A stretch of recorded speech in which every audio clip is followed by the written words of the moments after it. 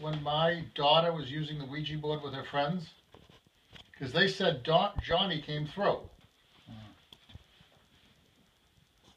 I just thought of that. Wow. That's uh, that's what they said. Yeah, they said Johnny came through. Wow. Yeah. Wow. Thank Oh. you. Three, three Wow. times right there.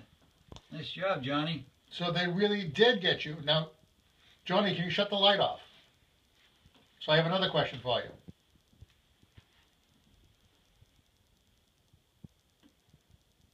Come on, Johnny. Please shut it off for us. I completely forgot about that.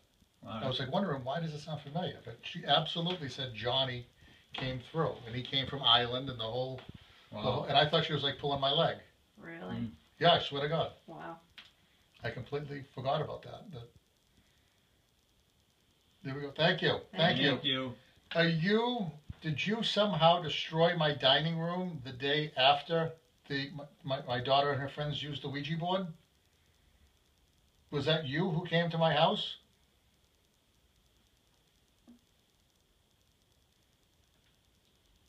Turn the flashlight on if you didn't destroy my dining room.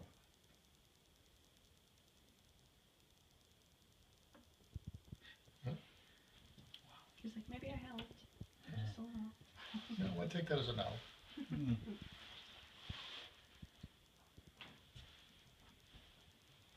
Ooh, I thought something just touched my hair. Thank you. This is the floor. Yeah. What? This is the floor. This is where it all happens.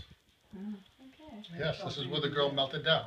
Alrighty. Wow. Yeah, so the touching of the hair, it's exactly what you talked about. Like almost like right at the foot of the stairs. Okay. Remember I told you that when it was in the little tour? No.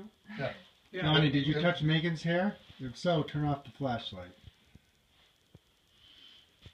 You might see something on the video after. Touching your hair. Okay, so Johnny, you didn't touch, you didn't do that to Megan, did you? Turn on the flashlight if you didn't do that to Megan.